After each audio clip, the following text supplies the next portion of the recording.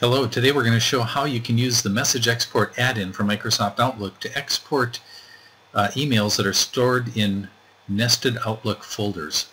So what do I mean by nested folders? Well, here you can see in my Outlook PST file I have a folder called Demo and under that folder there's another folder called Demo 1 and below Demo 1 there's another folder called Demo 2. Now some people spend a lot of time sorting and organizing their email messages. And when it comes time to export those messages they don't want to lose this this uh, folder structure. So message export has uh, uh, a capability in it that can help you export emails out of Outlook but preserve this folder structure that you have taken so much time to to build. Now of course I haven't taken much time to do it here but I've talked to people on the support line who have folders that are nested you know many levels deep and um, so what we're going to do is show you how this works.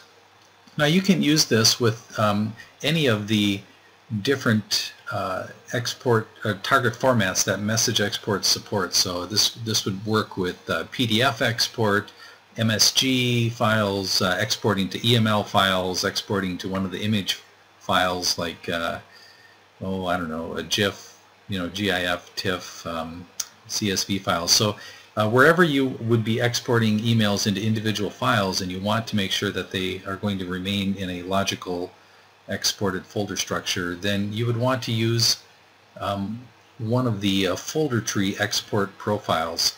Okay, so these, these export profiles are things, these are just simply instruction sets. You can create these, delete these, um, you can refine them uh, and edit them. So it's so easy to edit these. You just click the, the Tools button so for example, um, I go here where it says export from. I can select, uh, you know, selected items would mean just export the items that I've selected in Outlook. Selected folders would export email just from the folders that you select. Or you can do uh, selected folders with subfolders. And this is the one that we're going to use today because we're going to try to export all the emails um, from the subfolders. So now that I have that selected, I go down and I select the top folder. Oops, there it is. It's selected. So when we perform the export operation, it's going to export um, demo, and then it's going to go to the subfolder demo 1, and then down to demo 2. And then I, all I do is I click the export button, and it retrieves the messages. It asks me where it wants to, where should it put these emails. I'll just tell it, put them right there on the top of my desktop.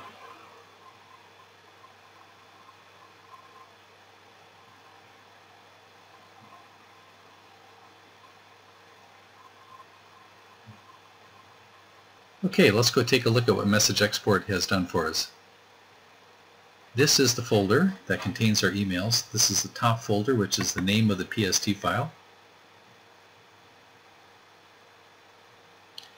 And inside there is the next level, which would be main inbox. And there is the folder called demo. And inside demo, we have all of the emails and there's also another folder called Demo 1. Demo 1 contains one email, and then there's another folder called Demo 2, and Demo 2 also contains one email. So Message Export has taken our emails in Outlook and exported the Outlook folder structure and the subfolders, and it's organized the resulting MSG files because we chose to export the email to MSG format, and it's organized those files into that logical folder structure. So if this is something that you can use, we invite you to check out Message Export. It's our add-on for Microsoft Outlook. It works for Outlook 2016, 2013, 2010, 2007.